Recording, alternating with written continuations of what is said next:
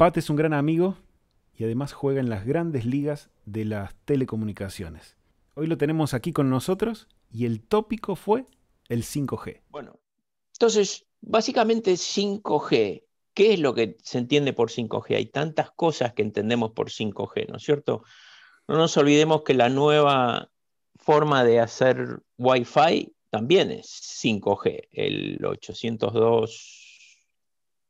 802.11ac, ¿no es cierto? Eh, está en 5 giga, que es una frecuencia. 5G, eh, obviamente. ahí destacamos ese punto. Estamos hablando, en el caso del Wi-Fi, de 5 GHz de frecuencia. no estamos hablando de quinta generación, pero comparte el, nombre. Exacto.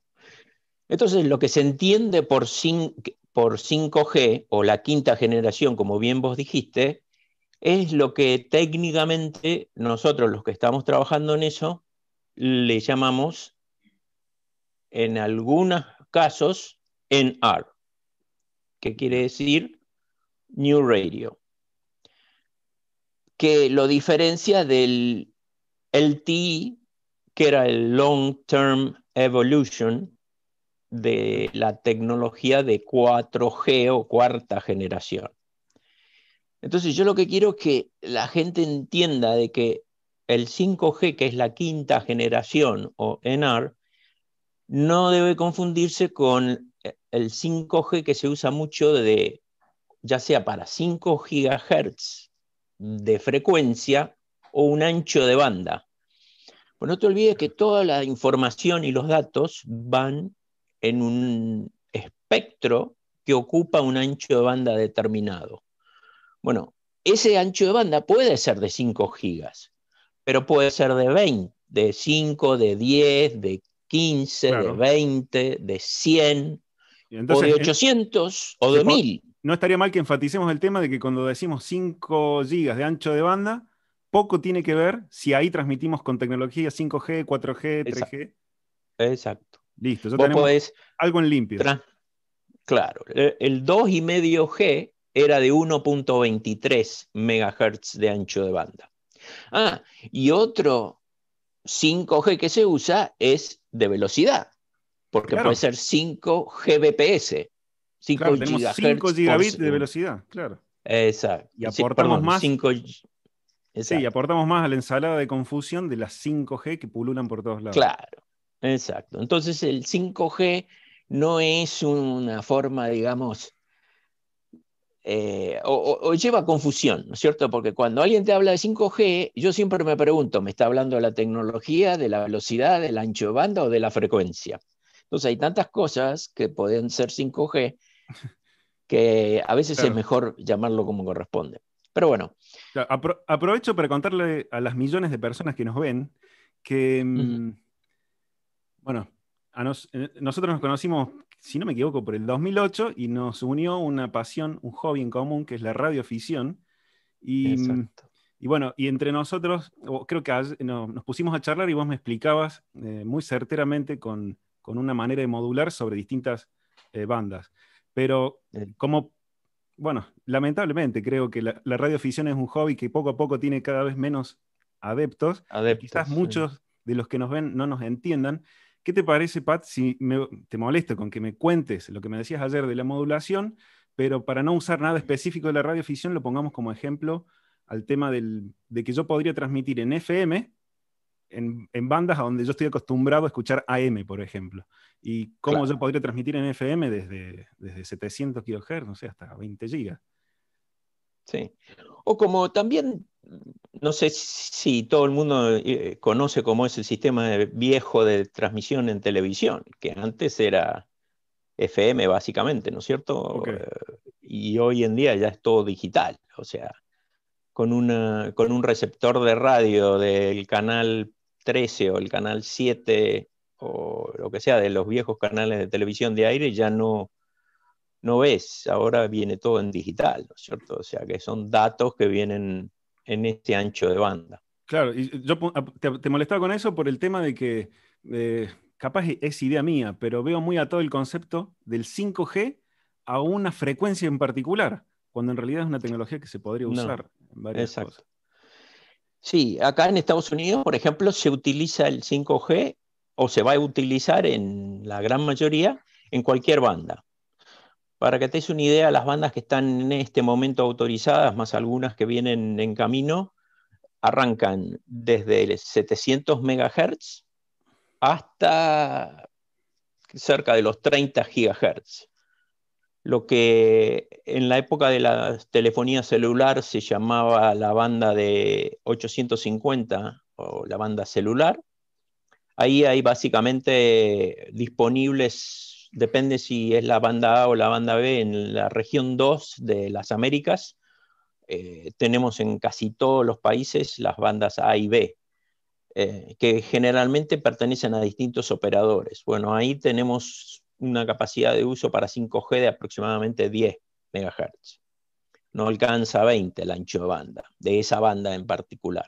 Después hay unas bandas que se licitaron acá en Estados Unidos eh, por debajo de esa, que son 600 y 700. Hay varias bandas y depende qué Em, service provider sea y en qué país estemos hablando, pueden tener más de una banda, asociaciones de banda, ¿viste? La, la banda C o la A más la B o la E más la F o lo que sea. O sea, 600, 700, 850, tenemos la banda de PCS, que es básicamente de 1850 hasta, hasta los 2 gigas. Eh, la banda de AWS, que está, digamos, entre medio, es eh, cerca también de los 2 y 2300. Después, no sé si vos has escuchado lo que es CBRS y LAA, son bandas que están en 3 gigas y en 5 gigas, son unlicensed acá en Estados Unidos por lo menos, ¿no? no sé si en todos los países son así o no en donde se hacen otras tecnologías, pero se podrían eventualmente hacer 5G también. ahora acá en Estados Unidos se está terminando de licitar unas bandas en 6 que se llaman eh, License Sub 6. Eh, y obviamente hay bandas em, milimétricas que le llamamos nosotros, que son de 26 hasta 30 gigas, que son las que se van a, hacer el deployment más, digamos, enérgico probablemente en el futuro, pero tienen muy poca penetración y relativamente poca cobertura, ¿no es cierto? O sea que esos son equipos que se van a, ver en casi, te diría que todas las esquinas o en, esquinas por medio, en los grandes centros urbanos y probablemente en sistemas internos de los edificios, los, sistemas in-building que se llaman. Y en todas esas frecuencias podemos aplicar la tecnología NR o la de la quinta generación 5G. Bien, y te confundí mucho. No, no, súper claro. De hecho que em, ahora que tengo más claro que lo voy a poder consumir más allá de que supongo que yo no voy a decidir si tengo un teléfono por dónde consumir esos 5G, em, desde el punto de vista técnico, cuando se transmiten 700 megas, ¿qué se gana, qué se pierde? Y lo mismo en el punto opuesto. Ya me dijiste que estamos perdiendo penetración, que supongo que es pierde, perder algo de capacidad de atravesar muros y ese tipo de cosas. ¿Qué gano, qué pierdo? ¿Cómo se comportan las señales en esas distintas frecuencias? Sí. Em, obviamente eh, digamos, la longitud de onda es inversamente proporcional a la frecuencia, ¿no es cierto? Entonces, eh, obviamente en las bandas milimétricas tenés muchísimo menos penetración, que se llama, o muchísimo más atenuación a través de cualquier medio. Por ejemplo, una Sí, obviamente el aire, el espacio libre también cambia la atenuación o el link budget, pero la, penetración a través de una ventana de un auto o el techo de un auto o la ventana de tu casa no pasa en ese, no sucede en, las ondas milimétricas por allá arriba en los 26 o 30. Son obviamente punto a punto, es en donde se hacen los eh, enlaces punto a punto, ¿no es cierto? Eh, los de mayor capacidad. Entonces, lógicamente nuestro device, que nosotros lo llamamos UI, que quiere decir el, eh, User eh, Interface, ¿no es cierto? Que puede ser tu teléfono, pero puede ser una antena con un receptor y eso a su vez pasa a través del vidrio, o sea, vas a tener, tenés un device que está al lado de afuera del vidrio, eh, se usa el vidrio como si fuese un dieléctrico o la ventana, ¿no es cierto? El vidrio de tu ventana, y adentro eh, va acoplado otro device y lo transmitís adentro de tu casa, por ejemplo. ¿No es cierto? Así es como se, se, va probablemente a utilizar en el futuro. Pero obviamente nuestros teléfonos, los UIs que usamos normalmente o un auto inteligente o lo que sea, va a tener una antena probablemente en el techo como si fuese una antena satelital, de recibir la radio satelital y, y eso le va a, transmitir toda la información al auto, ¿no es cierto? Ya sea un auto inteligente como un Tesla que maneja solo, que se comunica con los autos de al lado, o ese tipo de cosas, ¿cierto?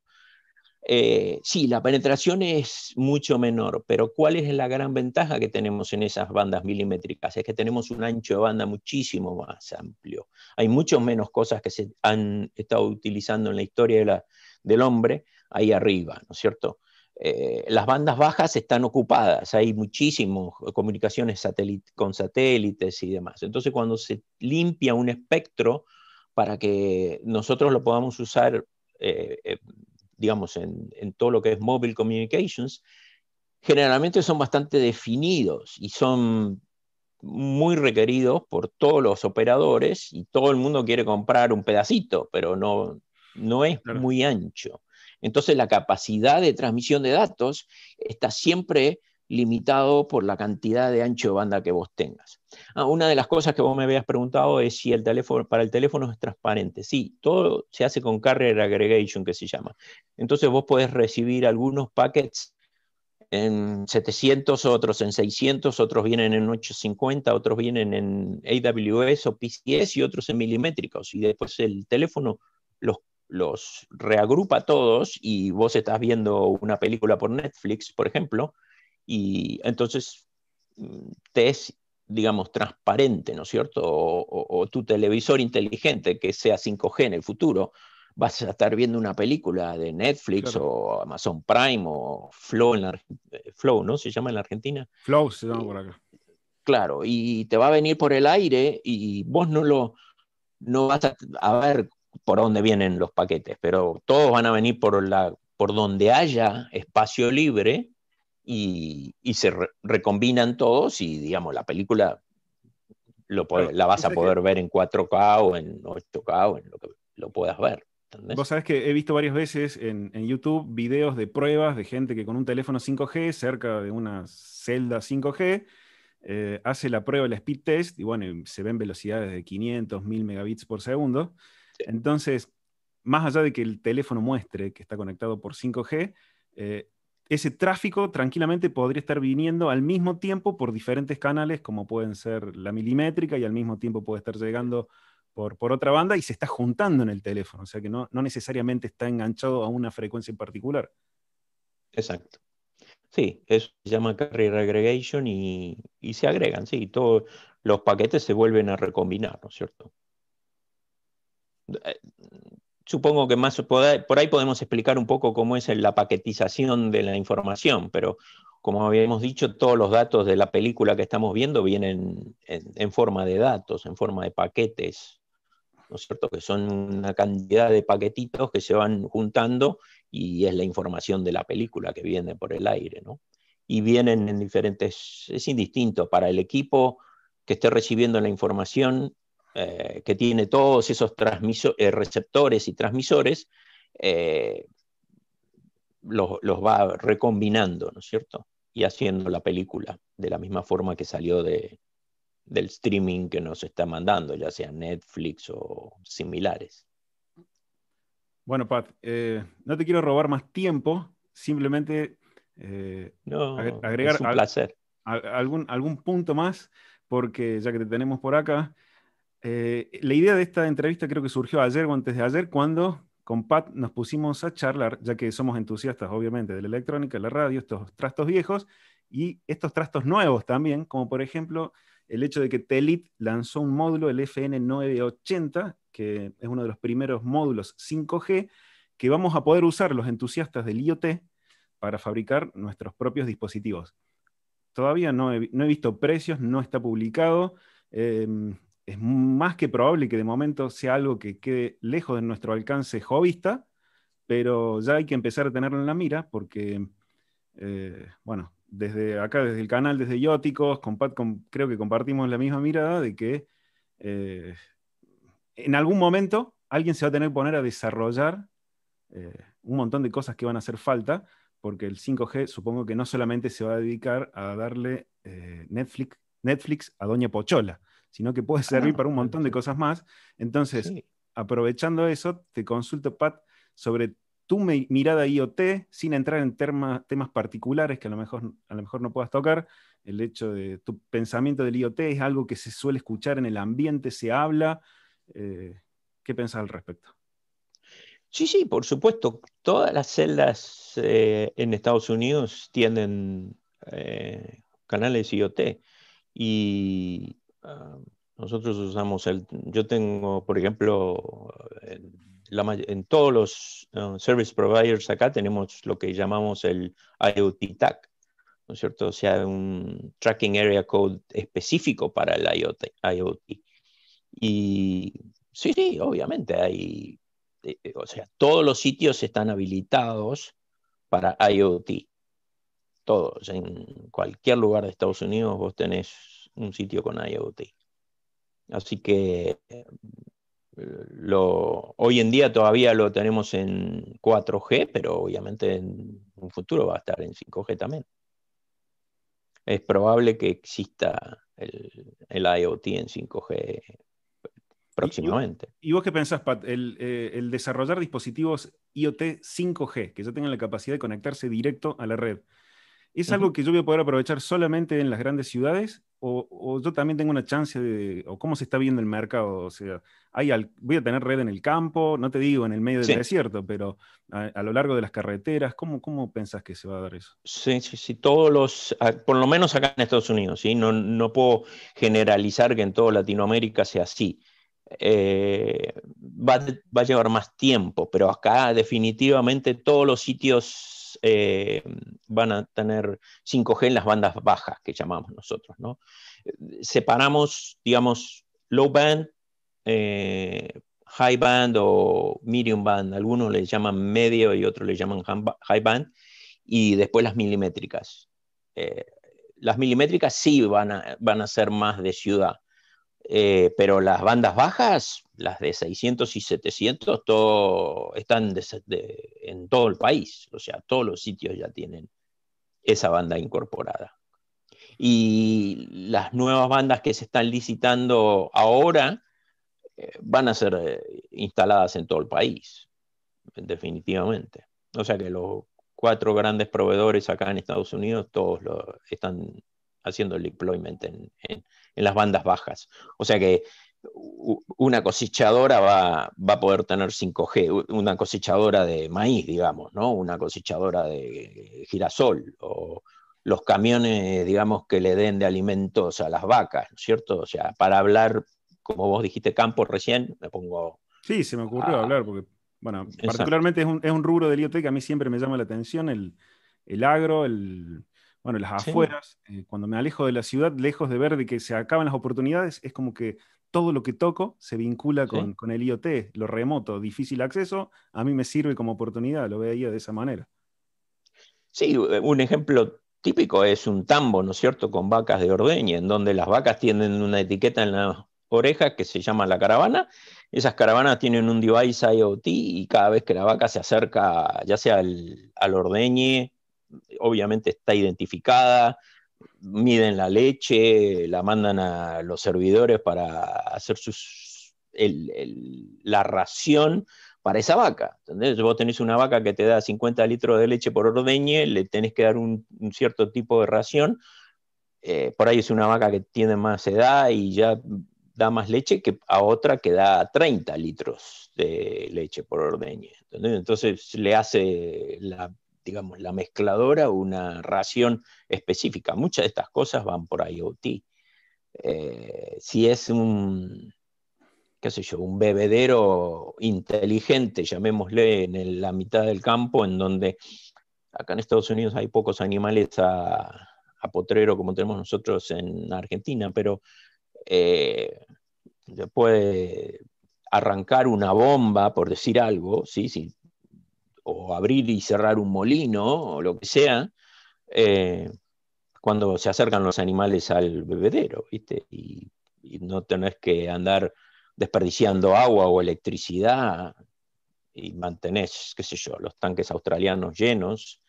Eso se puede usar en países como Australia, Nueva Zelanda, Argentina, en las grandes extensiones en donde hay campos, qué sé yo. Y obviamente todos los, la maquinaria agrícola, ¿no? Hoy en día eh, en algún momento van a ser autónomas, o sea, no necesariamente van a tener que tener una persona ahí manejándolos y irán a cosechar solos, pero tienen que estar comunicados con alguien, alguien lo tiene que estar controlando, ya sea remotamente. qué, tema tocaste, y ya con esta cierro y no, y, no nos extendemos más, pero qué, qué, buen tema, el hecho de que a veces nos pasa lo que estamos en el IoT, que me venden el 5G por el lado del, ancho de banda, y yo digo, pero si yo mando tres letras cada dos minutos, pero tengamos en cuenta de que algo que también ha mejorado es el delay a la velocidad que viaja esa información.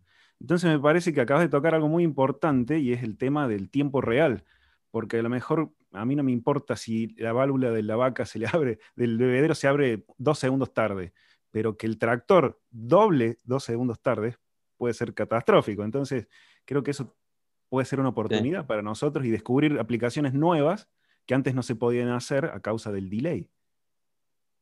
O que el cirujano que te está operando, que está en Malasia y vos estás en Argentina, se le, se le corra el bisturí dos milímetros tarde, ¿no? o dos milisegundos tarde, digamos. Sí, el latency es muchísimo menor. Nosotros le llamamos la latencia eso.